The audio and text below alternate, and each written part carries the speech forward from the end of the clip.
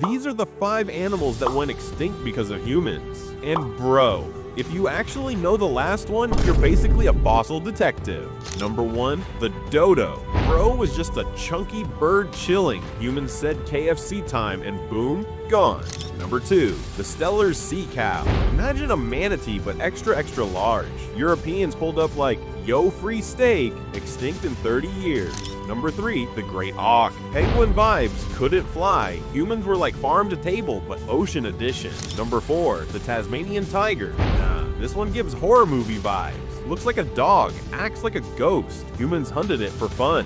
Wait, before the last one, look at this sad cat. If you think it deserves love, smash like, subscribe, and drop a heart before humans extinct kindness too. Number 5, the passenger pigeon. Once billions filled the sky, humans were like Minecraft speedrun IRL, and poof, the sky is empty.